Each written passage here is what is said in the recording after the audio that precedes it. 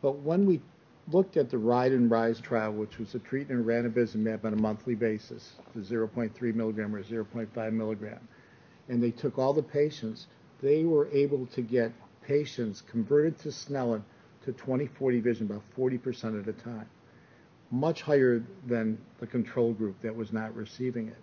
So this is this is a game changer. This is something that now takes people who not only couldn't drive, they couldn't function, they couldn't read, they needed help getting around, and it made them, you know, able to function and be able to, to drive and continue to function well. It's an amazing turn of events.